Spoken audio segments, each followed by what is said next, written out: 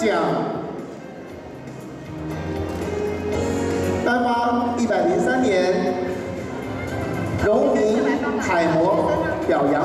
来，我们请工作人员将我们的大桌面撤掉。